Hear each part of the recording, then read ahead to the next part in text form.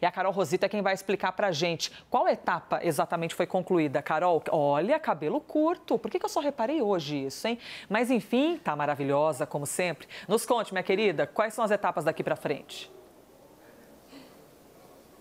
Obrigada pelo elogio, Elisa. Bom dia para você, bom dia a todos. Olha só, esse texto, né, a Lei de Diretrizes Orçamentárias que define o orçamento do ano que vem, as metas aí, o objetivo do governo na execução do orçamento, passou ontem na Comissão Mista de Orçamento, que é aquela comissão formada por deputados e senadores. Agora, de fato, o próximo passo é a sessão do Congresso Nacional, a sessão conjunta, o que deve acontecer na semana que vem, apesar da expectativa de sessão hoje, né? Mas mas a sessão do Congresso vai ser voltada mais para os vetos presidenciais. Bom, o que, que os parlamentares conseguiram incluir nesse texto? Basicamente, criaram ali um calendário para o pagamento das chamadas emendas individuais, as emendas impositivas, quando o governo é obrigado a pagar. Pelo texto do deputado Danilo Forte, o governo, então, as emendas individuais terão que ser empenhadas nos primeiros seis meses do ano seguinte, né? Então, em 2024, esse destino dos recursos já vão ter, terão que ser definidos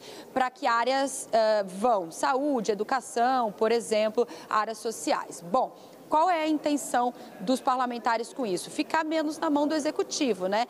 Uh, hoje, atualmente, não tem um prazo para o governo pagar essas emendas. Então, a gente estava vendo e acompanhou durante todo o ano aquela negociação, mais liberdade do governo para conseguir negociar, principalmente às vésperas de votações importantes de projetos de interesse do governo, voto em troca de liberação de emenda. Então, o objetivo é criar esse calendário para amarrar e deixar o governo ali mais dependente do Congresso Nacional. Nos bastidores, essa basicamente foi a estratégia. Além disso, das questões das emendas impositivas, o deputado Danilo Forte manteve a expectativa do governo do déficit zero, né, a meta para o ano que vem. O governo não abriu mão dessa questão, mas acabou recuando em outros pontos. Cedeu ali para o Executivo, para o Palácio do Planalto, principalmente em relação à questão dos recursos do, do, do Sistema S, que é justamente a transparência que Danilo Forte queria dar para essa questão, mas acabou tirando do seu texto. O texto, como eu disse, passou na Comissão Mista de Orçamento,